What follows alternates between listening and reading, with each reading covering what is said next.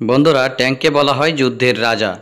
একসময় যুদ্ধের গতি প্রকৃতি নির্ধারণ করে দেওয়ার জন্য ট্যাঙ্কই ছিল প্রধান অস্ত্র।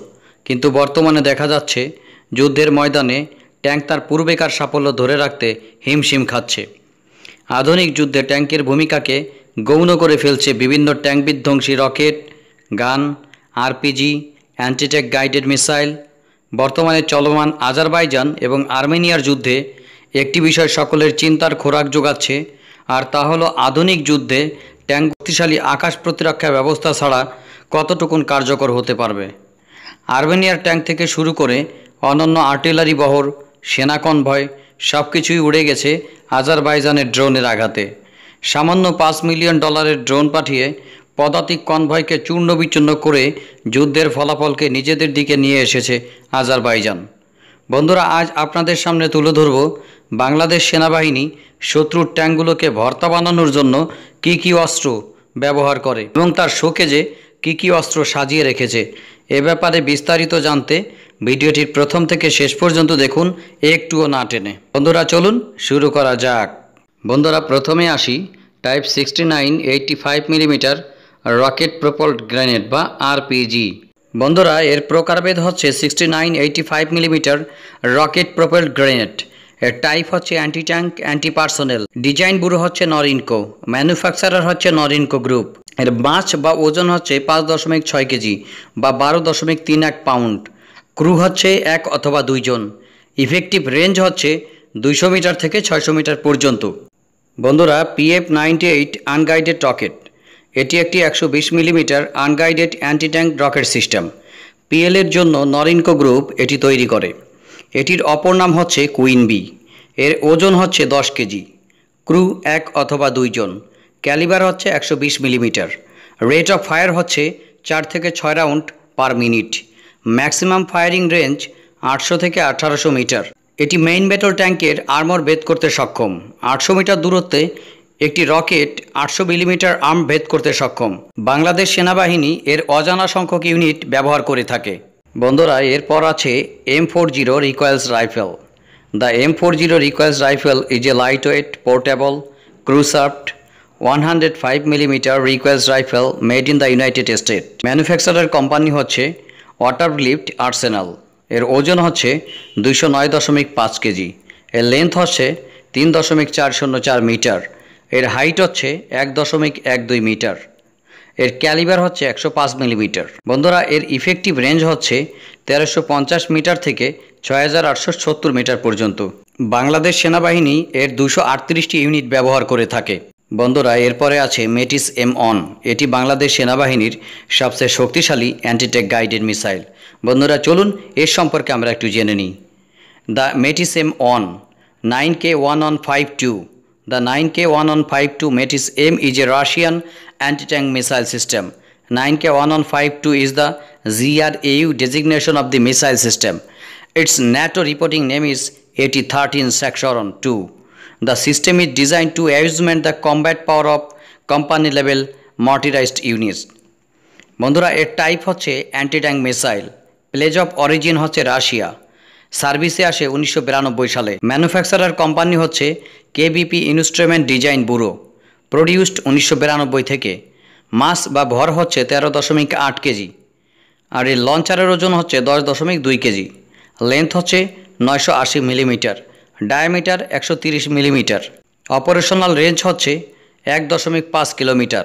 মেটিস এম অনের অপারেশনাল রেঞ্জ হচ্ছে আটশো মিটার থেকে দুই কিলোমিটার পর্যন্ত। এর ম্যাক্সিমাম স্পিড হচ্ছে দুইশো মিটার পার সেকেন্ড বন্ধুরা মেটিস এম অন প্রায় নয়শো থেকে সাড়ে নয়শো মিটার আর্মর পাত ভেদ করতে সক্ষম।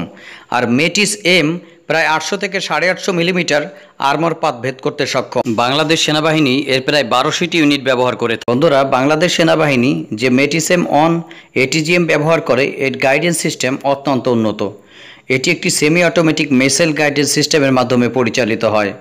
With the commands transmitted over a wire link The guidance system is constructed so that the most sophisticated and costly component, such as a gyroscopic coordinator, electronic unit, and an onboard battery, are excluded from the missile অর্থাৎ এটি missile থেকে দূরে অবস্থান করে বন্ধুরা বুঝতেই পারছেন মেটিসেম on হলো বিশ্বের সর্বশ্রেষ্ঠ যে কয়েকটি এটিজিএম আছে তার ভিতরে অন্যতম বন্ধুরা এরপরে আছে Red Arrow seventy three anti tank guided missile এটি তৈরি করে সোভিয়েত ইউনিয়ন। এর ডিজাইনের হচ্ছে design bureau of machine building manufacturer company হচ্ছে Soviet Union.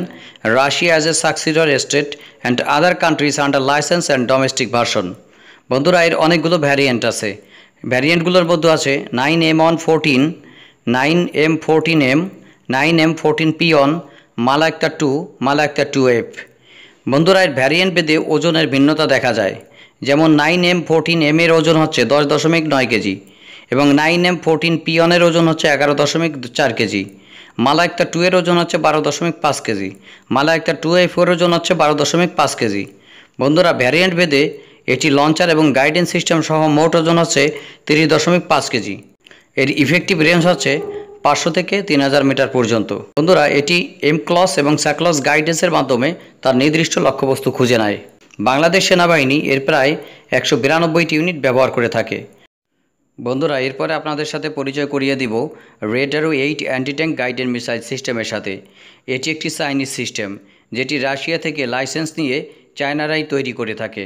এর আর নাম হচ্ছে the H eight or Hongjian eight is a second generation tube launched optically tracked war guided anti tank missile system which was originally developed by China People's Liberation Army since the late 1880 এর type হচ্ছে anti tank guided missile place of origin হচ্ছে China এটি সার্ভিসে আছে উনিশশো সালে এর designer হচ্ছে রিসার্চ ইনস্টিটিউট দুশো তিন ডিজাইন করা হয় উনিশশো সত্তর থেকে উনিশশো এর মধ্যে এর ম্যানুফ্যাকচারের কোম্পানি হচ্ছে নরিনকো খান রিসার্চ ল্যাবরেটরিজ, অর্থাৎ পাকিস্তান এবং চায়না এটি যৌথভাবে উৎপাদন করে থাকে। বন্ধুরা, বাংলাদেশ সেনাবাহিনীর বহরে সবচেয়ে শক্তিশালী anti tank guided missile system হচ্ছে nine M one three three Kornet. The nine M one three three Kornet হচ্ছে রাশিয়ার তৈরি একটি শক্তিশালী এক্সটেন্ট রেঞ্জের anti tank guided missile system. এর ন্যাটো রিপোর্টিং নেম হচ্ছে AT fourteen Spriggan is a modern Russian man portable anti tank guided missile system intended for use against main battle tanks. It was first introduced into service with the Russian Army 1998. বন্ধুরা, এর type হচ্ছে antitank guided missile system place of origin হচ্ছে Russia এটি সার্ভিসে আসে উনিশশো আটানব্বই সালে। ডিজাইন গ্রুপ হচ্ছে কেবিপি ইনস্ট্রুমেন্ট ডিজাইন ব্যুরো ডিজাইনটা হচ্ছে উনিশশো অষ্টআশি সাল থেকে উনিশশো আটানব্বই সালের মধ্যে। প্রডিউসড হচ্ছে উনিশশো চুরানব্বই সাল থেকে আজ পর্যন্ত। মোট এ পর্যন্ত পঁয়ত্রিশ হাজার ইউনিট তৈরি করা হয়েছে। এর ওজন হচ্ছে সাতাশ কেজি। লেন্থ হচ্ছে বারোশো মিলিমিটার। ডায়ামিটার হচ্ছে একশো বাহান্ন মিলিমিটার। বন্ধুরা, কর্নেট এটিজিএম এর বিস্ফোরকের পরিমাণ হচ্ছে চার দশমিক ছয় কেজি। এর উইং স্পিনের দৈর্ঘ্য হচ্ছে চারশো ষাট মিলিমিটার। এর প্রোপেলেন্ট হিসেবে আছে সলিড ফুয়েল রকেট চালিত একটি মোটর। অপারেশনাল রেঞ্জ হচ্ছে একশো থেকে দশ হাজার মিটার পর্যন্ত। অর্থাৎ এক মাইল থেকে দশ মাইল পর্যন্ত। গাইডেন্স সিস্টেম হচ্ছে স্যাকলস লেজার বিম রাইডিং এর লঞ্চ প্ল্যাটফর্ম হচ্ছে individual vehicles Kornet T Kornet D beam range BM Kornet D one বন্ধুরা, বর্তমান উত্তপ্ত ভূরাজনৈতিক পরিস্থিতি বিবেচনায় বাংলাদেশ অজানা সংখ্যক কর্নেট অ্যান্টিটেক গাইডেড মিসাইল ক্রয় করেছে। সারা বিশ্বের অ্যান্টিটেক গাইডেড মিসাইলের যদি র্যাঙ্কিং করা হয়, তাহলে কর্নেট অ্যান্টিটেক গাইডেড মিসাইল বিশ্বের অ্যান্টিটেক গাইডেড মিসাইলের মধ্যে অন্যতম। বুঝতেই পারছেন যদি মায়ানমার বাহিনীর ট্যাঙ্কগুলো বাংলাদেশের দিকে ধাবিত হওয়ার চেষ্টা করে, তাহলে কর্নেট অ্যান্টি ট্যাঙ্ক গাইডেড মিসাইলের আঘাতে এক একটি ট্যাঙ্ক ছায়ে পরিণত হবে। বন্ধুরা, একথা নির্দ্বিধায় বলা যায় যে, মায়ানমার কোনোভাবেই বাংলাদেশের বিরুদ্ধে তাদের ট্যাঙ্ক বহর কাজে লাগিয়ে যুদ্ধে জয়লাভ করতে সক্ষম হবে না। কারণ বাংলাদেশের হাতে যে অ্যান্টিট্যাঙ্ক গাইডেন মিসাইল থেকে শুরু করে অ্যান্টিট্যাঙ্ক রকেটগুলো রয়েছে, তা দিয়ে মায়ানমার সেনাবাহিনীর সবগুলো ট্যাঙ্ককে অন্তত চারবার ভস্যে বা ছায়ে পরিণত করা যাবে। অর্থাৎ ট্যাঙ্ক দিয়ে বাংলাদেশের বিরুদ্ধে যুদ্ধ করার কোনো সুবিধা আদায় করতে পারবে না মায়ানমার বাহিনী। এটা নিশ্চিত করে বলা যায়। মায়ানমার সেনাবাহিনী যে কোনো যুদ্ধ পরিস্থিতিতে যদি তাদের ট্যাঙ্কগুলোকে বাংলাদেশের দিকে মুভ করায়, তাহলে একটি নির্দিষ্ট ফানেল দিয়ে এই ট্যাঙ্কগুলো বাংলাদেশের ভিতরে আসতে হবে। অর্থাৎ বাংলাদেশের সাথে মায়ানমারের সমতল ভূমির পরিমাণ খুবই কম। আর সেই ফানেল দিয়ে যখনই এই ট্যাঙ্কগুলো বাংলাদেশের দিকে মুভ করবে, বাংলাদেশ তার অ্যান্টিট্যাক গাইডেড মিসাইল এবং অ্যান্টিট্যাক রকেট দিয়ে এই ট্যাঙ্কগুলোকে ধরাশায়ী করবে, এ বিষয়ে কোনো সন্দেহ নেই। তাই বন্ধুরা, মায়ানমার বাংলাদেশের বিরুদ্ধে ট্যাঙ্ক যুদ্ধে কোনোভাবেই সুবিধা করতে পারবে না। বন্ধুরা, ভিডিওর সর্বশেষে এই কথা নিশ্চিতভাবে বলা যায়, বাংলাদেশের হাতে রয়েছে পর্যাপ্ত সংখ্যক অ্যান্টিট্যাঙ্ক গাইডেড মিসাইল এবং অ্যান্টি ট্যাঙ্ক রক আর আজারবাইজান এবং আর্মেনিয়ার যুদ্ধ আমাদের চোখে আঙুল দিয়ে দেখিয়ে দিয়েছে যে অরক্ষিত আকাশ কখনো ট্যাঙ্কের নিরাপত্তা বা সুরক্ষা বিধানে সহযোগিতা করতে পারে না।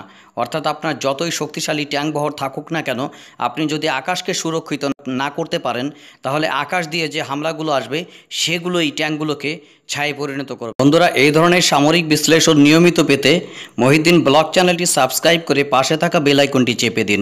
তাহলে আমি যখনই নতুন কোনো ভিডিও দিব, আপনারা রিমাইন্ডার পেয়ে যাবেন। ধন্যবাদ সকলকে।